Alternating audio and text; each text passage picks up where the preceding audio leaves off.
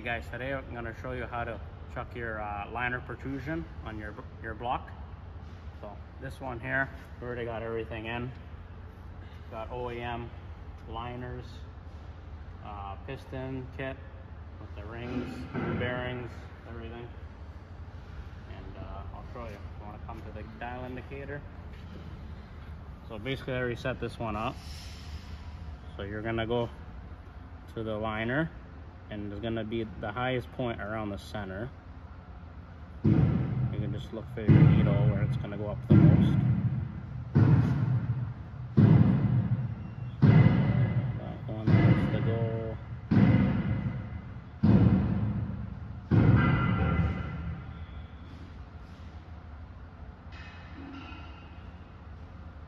Right around there.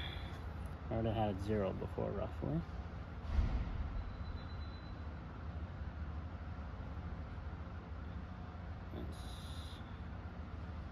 Let's, stay still.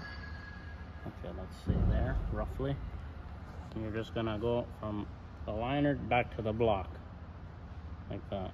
So from there to there, you have roughly, what is that? Just under six, which is good because on these motors, the spec is five and a half to, uh, I think it's 8.3 thou, roughly. So that's obviously thousandths of an inch, but yeah. So these are good.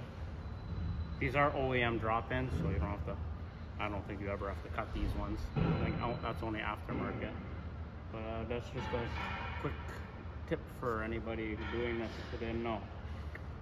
Stay tuned for more. See ya.